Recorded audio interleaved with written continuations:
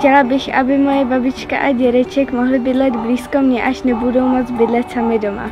Tábor mám moc ráda. Co mi tu ale hodně chybí, je dostatek míst v domovech pro seniory, aby mohli zůstat na blízku svým rodinám až do konce života.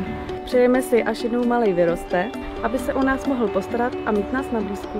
Celý život tady v táboře žiju, žiju tu ráda, líbí se mi tady a jsem v kontaktu s občanama mýho věku a i právě diskutujeme o tom, že by, až budou nemohoucí rádi do domova důchodců. V současné době je to obsazeno a mají občani strach, že to bude několik let trvat, než se na ně dostane. Piráti, to není strana jen pro mladé. A proto je pro nás výstavba nového domu pro seniory jednoznačnou prioritou. A to kvalitní a za rozumnou cenu. S tou cenou tady jistý problém je.